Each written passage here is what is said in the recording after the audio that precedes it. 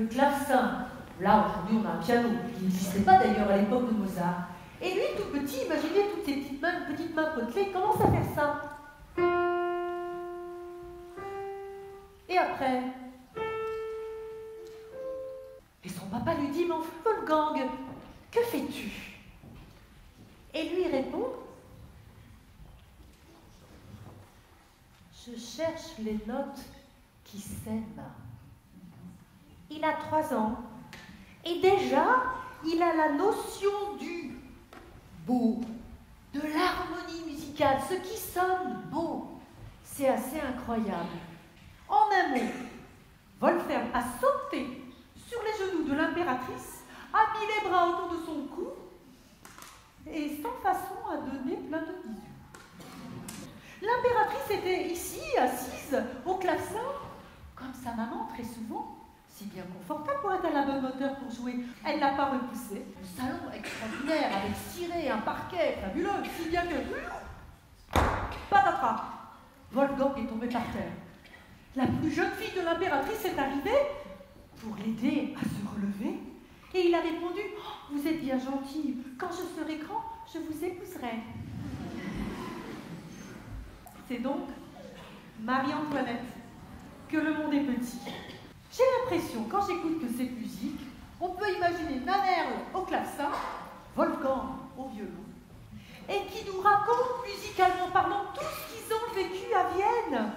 Et comme Mozart, mon Dieu, est bavard, c'est vrai qu'il a aussi beaucoup de choses à dire. C'est vivant, vivant, vivant. On s'y croirait.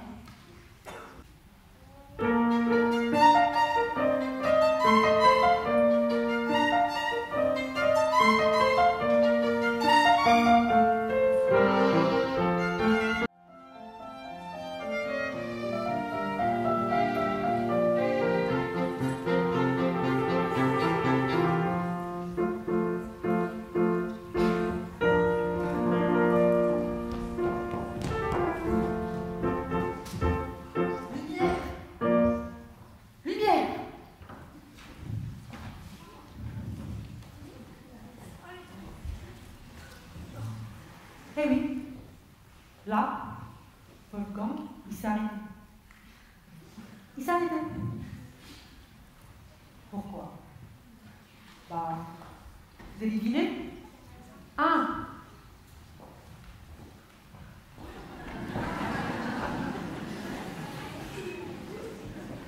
Besoin pressant. Deux. Il a vu un chat. Il a, il a couru après un chat. 3, c'était par cœur. Hein. Là, il y avait la partition. Bah, il a oublié. Pas de sèche. Alors, qui est pour Henri pressant les toilettes? On lève la main.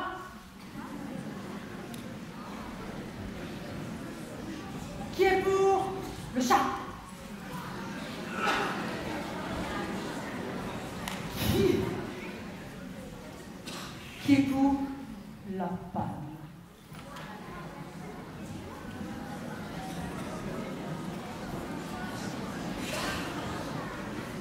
Eh bien, n'oublions pas que c'est un enfant. Et la panne, c'est pas possible. Pas besoin. Les toilettes seraient plus possible. Bon, ce serait faire de des coups d'enfant avant de faire le concert sur les toilettes. Eh bien, c'est le chat. Il a vu un chat. Et il a laissé. Et il est allé courir avec le chat. Et puis après, il a continué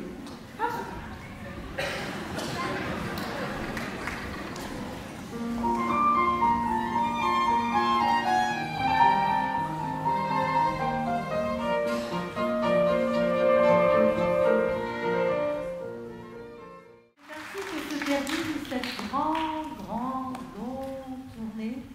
On pouvait imaginer que l'enfant qui est parti n'est pas le même que celui qui revient. Il a tellement appris, il a tellement découvert que c'est presque un adulte qui arrive à Salzbourg. Il y a d'autres enfants aussi extraordinaires qui vont naître après Wolfgang, eh bien, il n'y a eu qu'un Wolfgang Amadeus Mozart. Merci beaucoup.